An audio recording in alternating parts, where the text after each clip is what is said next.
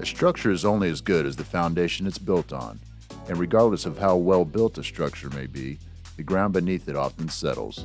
Erosion, shifting soil, compaction, and many other environmental conditions contribute to this problem. As a property owner, you have a critical choice to make to repair or not to repair. That is the question. Neglecting a repair can have huge implications. Here are a few possible results of neglect damage to your expensive structures, damage to vehicles driving on sunken slabs, trip hazards and resulting lawsuits, possible sinkhole dangers, limitless liability issues. Once you decide to repair a sunken slab, you have three options. Replace the slab. The process will take several days, is often messy, and is typically the most expensive option. Lift with cement grout.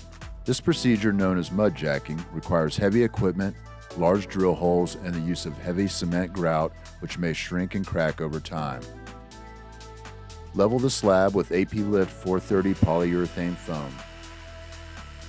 This procedure uses light equipment and material, small drill holes, and makes less of a mess. The procedure is simple. 3 8 inch holes are drilled for injection depending on port size, High strength polyurethane foam is injected underneath the slab. As the foam expands, the slab is lifted back into place.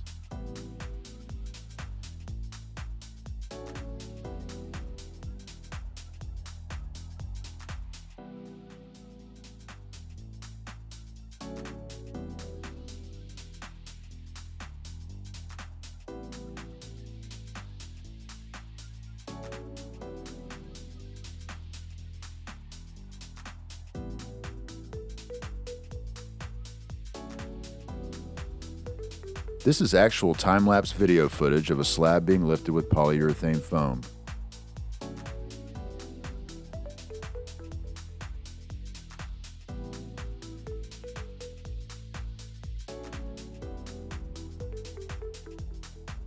Finished work is then performed with silicone sealants. The drill holes are patched, cracks and joints are sealed, and the surface of the slab is restored to optimal condition. Crews are careful to thoroughly clean up job sites before departing. The entire repair process can sometimes be done in just a few hours, depending on the condition and size of the slab. Leveled concrete is typically ready for use 45 minutes after the repair is completed.